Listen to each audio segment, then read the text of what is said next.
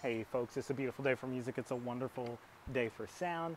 I'm here with part two of the left hand jam. Hopefully you've checked out part one. If you haven't, definitely go give it, um, go, go give it a, a, a, look, a listen, a run through and things. Um, shout out to my Patreons. Thank you for, for definitely helping me keep the page going.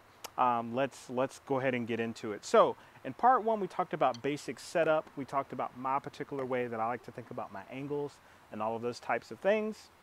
Um, today, we're just gonna go over a few different ideas and a few different things that'll kind of get our left hands once again moving. Let's immediately just start off with some basic um, eighth note crushes. What I'm gonna do with these eighth note crushes, I don't need them to be super short, but I do wanna make sure that I'm, I'm sort of stopping the stick at the bottom and I'm getting this little short compressed multiple bounce, like a little buzz. Let's try it. One and two and ready and go. And one and two and three and four and one and two and three and four and and when I'm actually doing this I want to make sure that my shoulders are nice and relaxed. Even though the left hand is the focus right now I do want to make sure I kind of move my head up and away from getting into this like sort of crouched sort of thing you know we're always kind of looking at that left hand trying to make sure that it's doing the right things as far as looking and moving the right way but don't get too far sort of into that that you start to have bad posture. So I'm going to purposely look away over to the other side.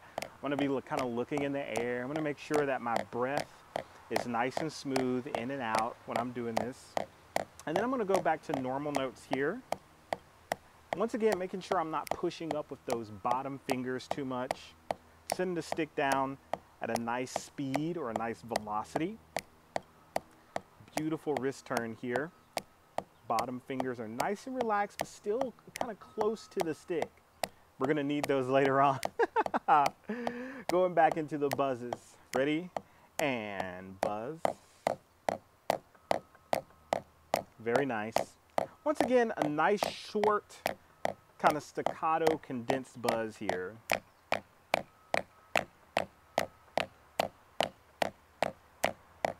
And you will start to kind of feel that little wake up in that thumb and that first finger, your index finger there. So be very aware of that once that actually starts to happen. Keep those shoulders nice and relaxed. Once again, you can always kind of wiggle those out. Trying to have a beautiful consistency of motion here. Back to normal notes and one, three and four and one and two. Such a beautiful day out here. These are my chickens in the background. three and four and one and two and three. We'll stop right here and stop. Cool. You can go ahead and shake that out. And a lot of times I just kind of like to flail it around. A lot of little floppy floppies here going on. I like to do some of these just kind of back and forth. Let my fingers just kind of absolutely relax. Nice flappy arms and things and stuff. So two things I want to look at as far as my actual buzzes here. And, and, and these two ways will sort of help me to figure out my thumb to first finger sort of articulation um, and, and maybe a few different options. So first of all, when I'm actually, when I, when I have my connection here with my thumb and my index finger, when I'm doing those very short buzzes, I'm applying a lot of pressure down into the drum. So a lot of times that pressure almost comes from like my fingernail of my thumb down into that first finger, the index finger, and I'm pushing that combination down through that through that particular area. Now, if I were to try to open up the buzzes a little bit more, for me at least, it pushes or at least it, it kind of works out from an efficiency standpoint for me to push a little bit of that pressure a little bit further back onto my thumb. So instead of it feeling like me pushing from the front part, I almost start to feel it push from the first kind of knuckle or breaking point here in my thumb. I started to feel it almost kind of on the inside of here, pushing down and in on the actual stick. That's just another particular place for me to push that I can get um, or use what I call the thumb butt, right? All of this little meat that's connected to the thumb, that's a very powerful muscle when we get into playing things that are uh, just very quick, when we get into playing different kind of ornamentation as far as different type of multiple bounces. So know that you can get some of that pressure pushing from the front part of your thumb through that kind of fingernail, but also pushing towards the back part of your thumb and to that stick. Just as a little bit of exploration right now, start to just kind of, uh, even if your thumb is flat, maybe start to kind of push it down and in a little bit while it's on the stick and see what type of buzz that gets you. And you can do that with a little bit of that wrist turn also. And then go back and push from the front part of that, of that thumb down. Now you're gonna notice with all of those options, you can choose to do that with your thumb kind of as the primary thing, whether it be the front or the back, or you can choose to do that in combination with that wrist turn, which will of course give you more height when you actually play those things.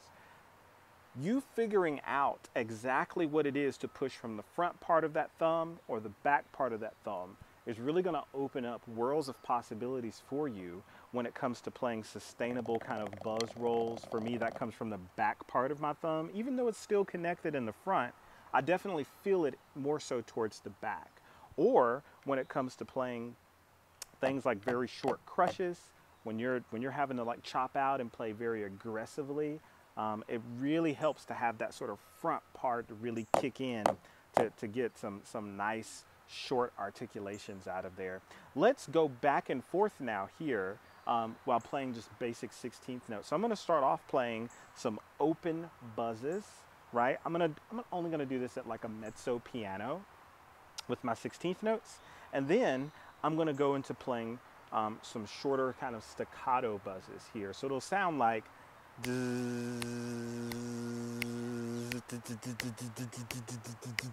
like little bees. I call them short bees with my younger students.